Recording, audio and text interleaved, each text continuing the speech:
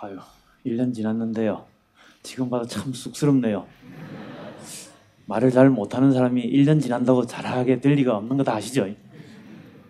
아, 오늘은 그 작년 1년 지난 이후에 그동안 이제 무인 항공기를 하면서 사실 저 다음 이야기가 무인 항공기 기술을 이용해서 앞으로 보통 사람들이 아무나 타고 다닐 수 있는 그런 미래형 항공기로 가는 길을 이야기를 했는데 거기에 대한 이제 고담 강연 이후에 저희 사업에서 이룩한 성과, 작은 성과지만 그 결과를 중간 막간을 이용해서 좀 보여달라는 요청이 있어서 하게 됐습니다.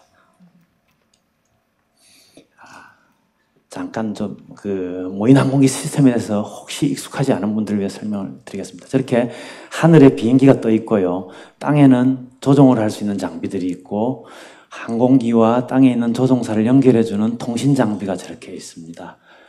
통신 그 지상에 있는 조종 장비 속에는요 이렇게 컴퓨터로 이루어져 있는 비행기의 조종 상태를 볼 수 있고 비행기가 어디에 가고 있고 어떤 상태를 인가를 보여주는 저런 컴퓨터 장치들이 있고요. 비행기 속에는 저렇게 상당히 복잡한데 눈이 좋으신 분도 저 무슨 글자인지 잘 안 읽으시죠? 일부러 못 읽으시게 작게 해놨습니다. 저렇게 굉장히 복잡한 장비들이 많이 들어 있는데 저희 사업을 통해서 저걸 다 국산화를 했습니다. 그래서 저렇게 복잡하게 생긴 좀 특이한 비행기인데 속에 들어있는 그 가스 터빈 엔진을 제외한 나머지 부분을 다 국산화를 했습니다. 소프트웨어까지요. 왜냐하면 무인 항공기 기술이 전략 핵심 기술이기 때문에 국가 간의 기술 이전에 대해서 굉장히 규제가 심합니다. 그리고 무인 아, 무인 항공기 기술은 특히나 그 무기 군사 기술로 바로 적용을 할 수 있기 때문에 기술 통제가 심해서 스스로 할 수밖에 없었습니다. 스스로 할 수밖에 없었다는 게 단점이기도 하지만 장, 연구자들한테는 굉장한 장점이죠. 우리가 할 일이 많으니까. 근데 저런 특이한 항공기는 아까 잠깐 비디오에도 나왔습니다만 이렇게 헬리콥터처럼 이륙을 했다가 비행기처럼 변신을 해야 됩니다.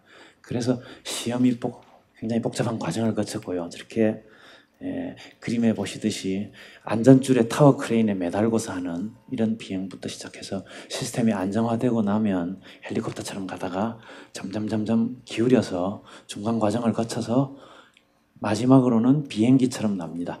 여기 오신 분들은 비행기하고 항공기 이런 거 구별하시죠? 비행기는요 고정된 날개를 가지고 날고요 추진 장치가 있어야 되고요 그다음에 공기의 반작용으로 공중에 떠 있을 수 있어야 됩니다. 그래서 열기구 같은 건 비행, 어, 비행기가 아니고요. 헬리콥터도 비행기가 아닙니다.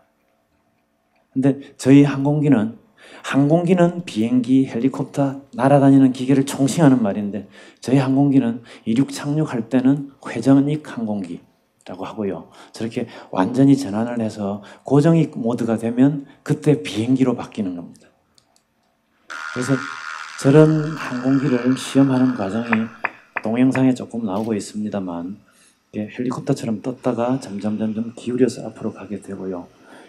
작년 2월 23일에 첫 비행을 하고 약 5개월 동안 헬리콥터처럼 날아다니는 과정만 계속했습니다. 시간이 많이 걸렸던 이유가 정작 굉장히 어렵게 생각했던 헬리콥터에서 고정이 비행기로 가는 중간 과정이 사실은 블랙박스고 굉장히 핵심 기술인데 그건 좀 전에 보셨듯이 저런 작은 모형기로 기술 개발을 원천 기술을 개발한 한 상태였는데 했는데도 불구하고 2월 달부터 저 저기에 써져 있는 회전익 모드 완료 저 시기 7월 달 말까지도 그 다 돼 있는 것 같은 그 사이가 굉장히 어려웠는데 예를 들면 이런 겁니다. 비행기가 뜨면 똑바로 날아갔으면 좋겠는데 날아가는 동안에 항상 개걸음을 갑니다. 골프 좋아하시는 분들이 골프하고 자녀 교육하고 공통점 여러 가지 있는 것 중에 똑바로 갔으면 좋겠다. 쳤으면 원하는 방향으로 똑바로 가지 않고 비스듬히 갔습니다. 그거 해결하는데 추가로 2개월이 더 걸렸고요. 결국은 해결을 해서 9월 어, 달에는 천이 이렇게 헬리콥터에서 고정익으로 변신하는 과정을 한 번에 성공을 했고요. 그 이후로 이제 속도를 늘려간다든가 좀 더 나은 기술을 향상시키는가 하는데 시간을 들여서 작년 12월 14일에는 저희 그 시험용 항공기로 낼 수 있는 최고 속도인 440km까지 달렸습니다. 그래서 어, 지금까지 나와 있는 전 세계의 모인 항공기, 수직으로 뜰 수 있는 모인 항공기 중에서는 제일 빨리 나르는 항공기가 됐습니다. 시험하던 과정을 짧게 편집한 동영상인데 한번 보시겠습니다. 수직으로 이륙을 하고요. 저 항공기는 아까 동영상에 나온 것과 달리 1톤짜리 항공기입니다. 조종사가 두 사람이 앉아서 간단한 버튼 조작으로 자동 비행을 하고 있습니다. 저 과제에서는 저게 중요한 일이지만 앞으로 아무나 타고 날아다니는 미래형 항공기를 위해서는 지나가야 되는 아주 사소한 중간 과정일지도 모르겠습니다. 프로펠러가 점점 앞으로 넘어가지요. 오른쪽 화면 아래 두 개는 다 조종사가 조종 장치 안에서 보고 있는 화면의 일부분입니다. 이제 고정이그 모드 비행기로 변신을 한 상태입니다.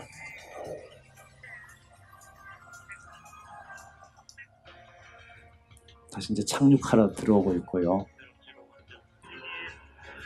지금 보시는 것이 이제 저 모인 항공기에 달려 있는 카메라를 가지고 지상의 어떤 관찰을 해야 될 대상을 보는 그런 장면.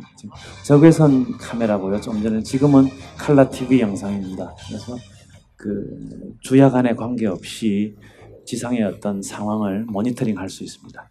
재난 감지라든가 군인들이 쓴다면 뭐 그런 군용 목적으로도 쓸 수 있겠습니다. 그래서 이 기술을 한 다음에는 그 지금 보시는 것은 그 공중에 날아다니는 항공기들이 제일 걱정하는 것 중에 하나가 다른 항공기랑 만났을 때 어떻게 충돌을 피할 수 있겠느냐. 지금 화면에 보시면 급기동을 하고 비행기가 방금 하나 지나갔는데 보셨습니까? 그 비행기는 원래 법규에 의해서 서로 마주 보는 방향으로 다니는 항공기가 같은 고도에서 만날 수 없도록 만들어져 있습니다. 그럼에도 불구하고 만약에 앞으로 자동차가 자동차를 쓰듯이 항공기를 타고 출퇴근을 동시에 한다든가 하는 경우에는 같은 일시적으로 같은 고도를 지나갈 수 있겠습니다. 그래서 가장 걱정되는 것 중에 하나가 공중에서 항공기끼리 그 빠른 항공기끼리 충돌하는 상황은 절대로 안 생겨야 되겠다는 겁니다. 그래서 한 것 중에 시작한 중에 하나가 이런 공중에서 예기치 않게 만났을 때 자동으로 회피해서 날아갈 수 있는 그게 기술의 하나입니다. 이제 마지막으로 보여드릴 슬라이드는 작년에 마지막으로 보여드렸던 슬라이드입니다. 이게 어느 날 완성이 되면 특히 오늘 오신 분들 중에서 이렇게 신세대, 차세대를 짊어지실 분들이 해결해 주시면 될 부분이 아마도 어, 지금의 자동차처럼 다음에는 출근 시간에 다 하늘을 날아서 출근하는 장면이 어, 그걸 기대를 하고 있고 아마도 출근 시간 이런 모습이 아닐까 생각을 합니다. 제 꿈은 저 새들이 다 비행기가 되는 겁니다. 감사합니다.